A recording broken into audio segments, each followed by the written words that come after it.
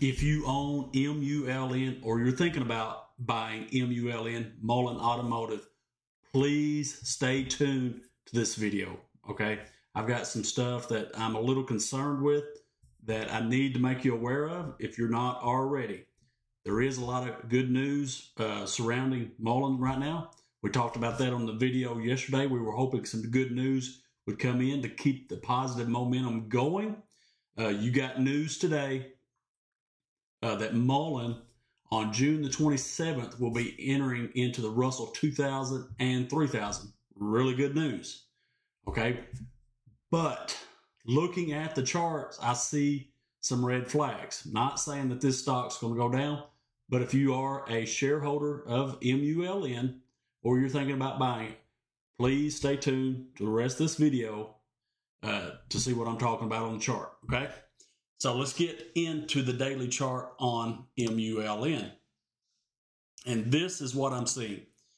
Now, I've been doing this for a while, and I have been in stocks just like this uh, in the past, where you've got new, uh, news coming up that should be good for the stock, but the chart is telling you something else. And what has ended up happening happening to me in the past is I wait on the news hoping that this stock just busts out and I end up losing money. Now, I'm not saying that's the case with uh, Mullen, M-U-L-N here, but I want to tell you what I'm seeing on the charts. Okay, looking at the daily, what I do like about this is you still have a 45 degree angle going on your MACD. Your blue line is above your orange line. Everything looks great there. Now that is something that I put a lot of money on is the daily MACD. So that looks good. However, your volume has faded uh, from last week when you had this run up. You have a gap at 103 uh, all the way back from last week that will have to be filled at some time. Today, you got some good news and your volume only went up slightly. But the bigger concern for me, look at these tops of these candles on your on the last five days.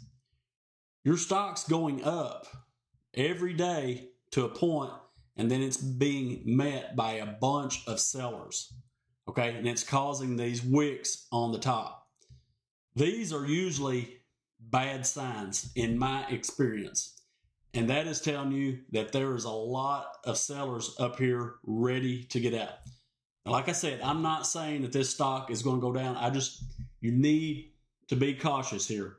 Okay. Because making money in stocks with stocks is one of the easier things to do. The hard part is cutting your losses early or getting out of a stock before you lose money. Okay. That's the hardest part because it's easy for us to ride a stock down thinking that we're right and that it's going to come back up and we're going to make money.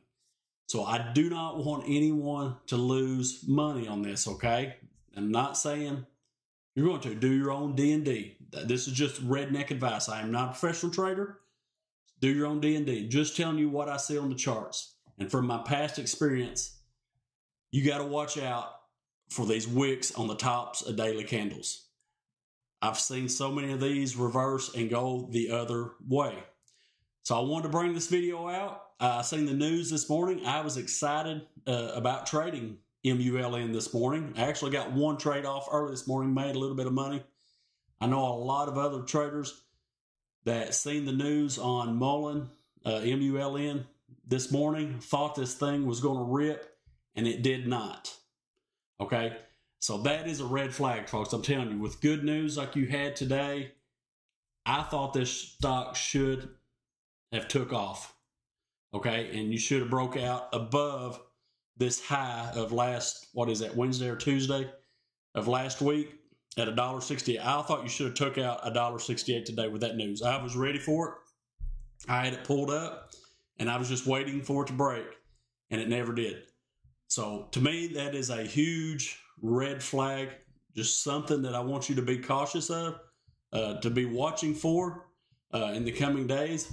And uh, where do I think this stock is going? Well, it, if this holds true and this does reverse, you do have a, a gap fill down here at a dollar three that I am concerned about. Not saying it's going to go there.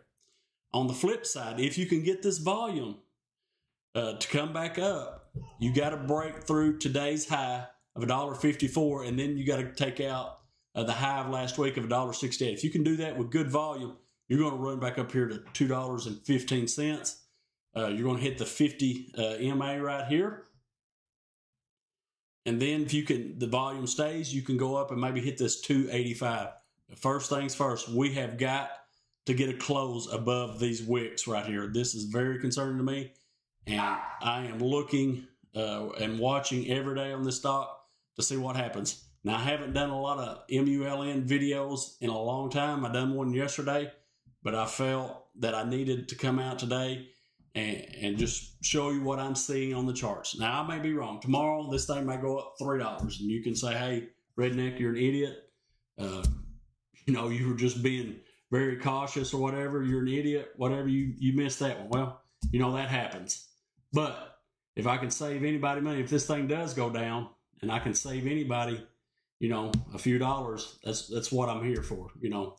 Uh, I want us all to help each other grow. And if we see anything, let's bring it to each other's attention.